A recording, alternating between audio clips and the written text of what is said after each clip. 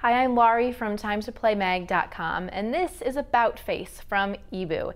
It comes with 160 double-sided cards, and each card has the image of an object on both sides.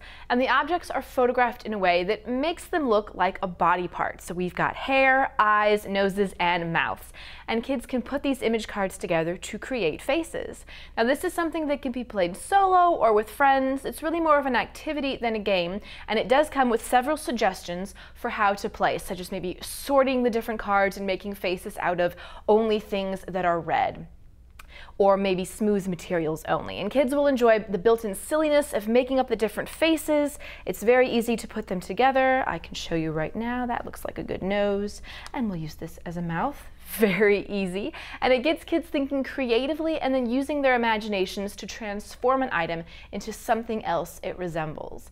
This is for ages three and up, and preschoolers will like coming up with their own ways to play with About Face. If you want to find out more information on this item, such as how much it costs and where to buy, then come visit timesToPlayMag.com, your number one source for all things play.